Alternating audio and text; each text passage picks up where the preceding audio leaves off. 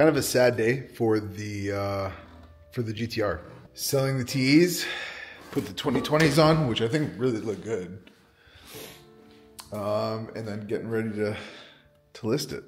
I got the TEs, great wheels. Yeah, getting ready to sell it, um, and then hopefully in the next year or two get something else to to replace it. And it is kind of sad However, I when I was taking off the wheels last night, kind of had my moment with it, with the GTR, and, and kind of you know came to uh, you know an okay to move on. Um, whoever gets this is going to get a really really nice car. I mean, this was fully taken care of. I have the paperwork for everything that has been done to this car. The two owners before me had all the paperwork. I mean, it even has the original Japanese shipping label when this car shipped over in 2009. So well kept uh, well documented. Everything is on my YouTube channel. Um, all the replacements, all the big replacements uh, that people are wary of 2009s, and um, I essentially turned it into a 2020. And um, the car's great. The car, car is absolutely perfect. So um, the FD will keep me busy. Um, it's wrapping up. Um, it should be done here within the next month or so.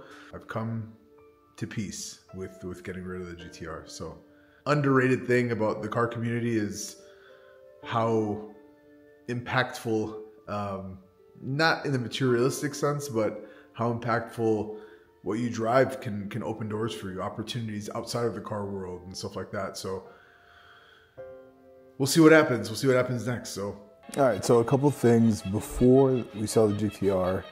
Um, the main issue that I have with it is that I just need to replace the battery, essentially it for over about five years, been tendering it the whole time. And so, um, yeah, this will be good for the new owner um, so that it starts up on first crank. So, uh, yeah, let's hop into it.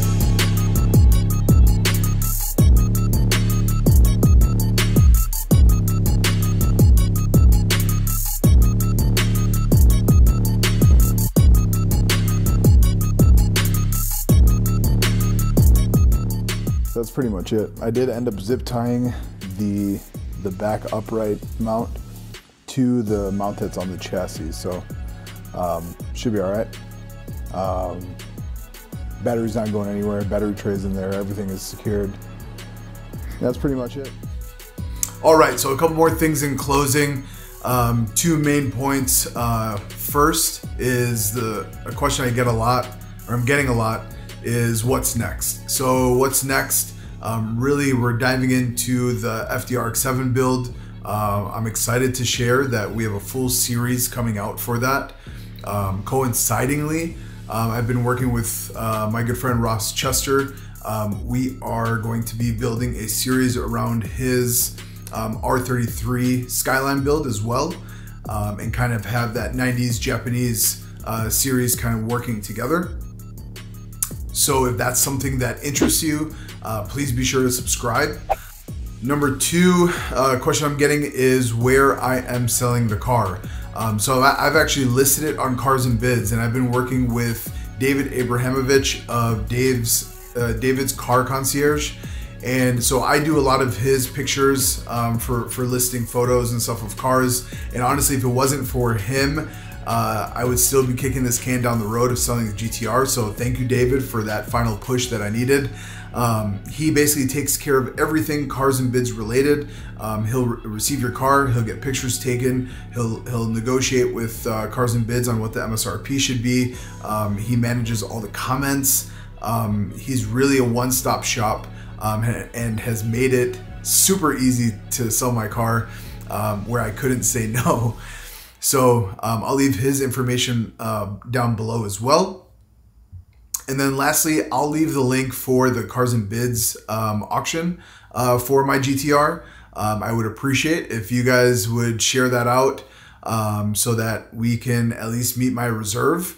Um, that would be greatly appreciated.